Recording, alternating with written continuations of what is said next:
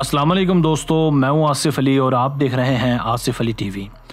دوستو، اس دنیا فانی کے تقریباً ستر فیصد حصے پر سمندروں کا راج ہے۔ یعنی اس روئے زمین کا وہ حصہ جسے ہم خشکی کہتے ہیں اور جہاں انسان بستے ہیں، دراصل سمندروں سے بہت ہی چھوٹا ہے۔ مگر دنیا بھر کے سمندروں کو ابھی تک پوری طرح سے کھنگالا نہیں کیا آج بھی انسان سمندروں کے زیری حصوں میں چھپے کھلے رازوں اور وہاں بسی مخلوقات سے مکمل بے خبر ہے۔ کیونکہ اٹلانٹک اوشن میں چھپے بہت سے پوشیدہ راز آج بھی ایک وطیرہ بنے ہوئے ہیں۔ آج کی ویڈیو میں ہم آپ کو دکھانے جا رہے ہیں دنیا میں بسنے والے پانچ عجیب و غریب جانور جنہیں شاید آپ نے پہلے کبھی نہیں دیکھا ہوگا۔ تو چلیے سٹارٹ کرتے ہیں۔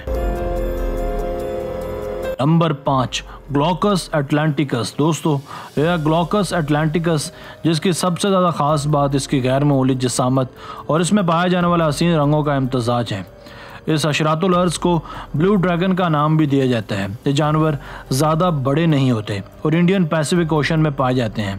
یہ نیلے رنگ کے سمندری جاندار بہت ہی زیادہ لچکدار جسامت کے مالک ہوتے ہیں۔ یہ اپنا شکار اپنے ڈنگ کی مدد سے کرتا ہے، جس کے جسم پر لگے نیلے ہاتھ پاؤں پروں کی ماند لگتے ہیں۔ ان کی لمبائی محض تین سینٹی میٹرز تک ہوتی ہے۔ نمبر چار پینکی فیری آرمڈیلو۔ دوستو، یہ آرمڈیلو فیملی کا ایک عجیب و غریب مگر خوبصورت ترین سپیشیز۔ یہ پائی جاتی ہے ریتلی جگہوں اور ارجنٹائن کے گھاس کے میدانوں میں۔ اس جاندار کی آنکھیں بہت ہی چھوٹی اور بال سنہرے ہوتے ہیں اور سر پر ایک شیل بھی لگا ہوتا ہے۔ یہ چھوٹے کیڑوں، مکوڑوں اور پتوں کو کھا کر خوش رہتا ہے۔ ان کا سائز ہوتا ہے نوے سے ایک سو پچاس ملی میٹر تک۔ اس جاندار کو ابھی حال ہی میں کھوجا گیا ہے۔ یہ جانور عموماً دن کو سوتے اور رات کو باہر نکلتے ہیں۔ انہیں گروپوں کی بجائے اکیلے رہنا بےحد پسند ہے۔ ان کی خوراک میں کیڑے، مکوڑے، سنیلز اور مختلف اقسام کے پودے وغیرہ شامل ہوتے ہیں۔ نمبر تین، ٹولی مونسٹرم۔ دوستو، یہ ایک اور حال ہی میں دریافت کیا جانے والا ایک انوکھا جاندار ٹولی مونسٹرم، جسے ٹولی مونسٹر کا نام بھی دیا جاتا ہے اس جاندار کی خاص بات اس کی غیر معمولی بناوٹ ہے، جو باقی ماندہ جانوروں سے خاصی مختلف ہے۔ اس کی لمبی خطرناک دم کسی خطرناک بچو کے ڈنگ کی مانت ہے۔ اس کے تیز نکیلے دانت کسی بھی جانور کے ٹکڑے کر سکتے ہیں۔ کچھ سال پہلے تک مارین کے مطابق یہ جاندار ناپید ہو چکا تھا، مگر ریسرچرز نے اسے ایک مرتبہ پھر سے کھوج نکالا ہے، یہ تقریباً تین سو ملین سال پرانا جانور ہے۔